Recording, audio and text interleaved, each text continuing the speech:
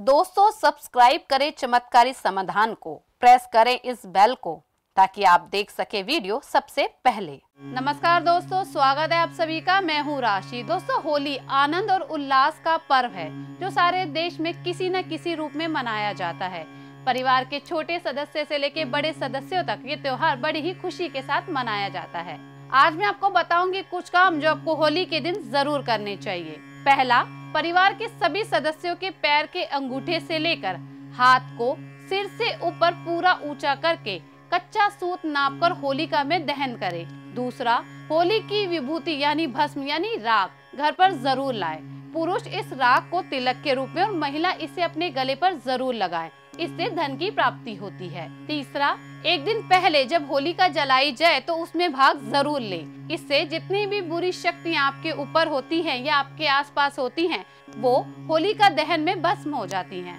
अगर किसी वजह से आप रात में होली जलाने के वक्त शामिल ना हो पाए तो अगले दिन सुबह सूरज निकलने से पहले जलती हुई होली के निकट जाए और तीन परिक्रमा करें।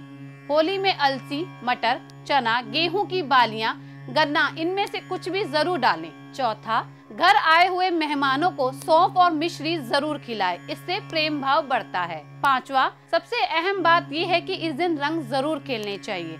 जीवन में रंग खुशियाँ लेकर आते हैं और मनुष्यत को दूर करते हैं। इसलिए इस दिन रंग ज़रूर खेलने चाहिए।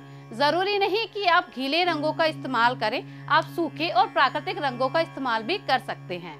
तो दोस्तों, ये थे कुछ आसान से काम जो आपको होली के दिन ज़रूर करने चाहिए। अपनी समस्या और परेशानी को आज ही दूर करें चमत्कारी समाधान के टोटके और उपायों से। और चमत्कारी समाधान की बाकी वीडियो के लिए हमारे चैनल चमत्कारी समाधान को आज ही सब्सक्राइब करें। और अगर आपको हमारी ये वीडियो पसंद आए तो इसे लाइक, कमेंट और शेयर करना ना भूलें।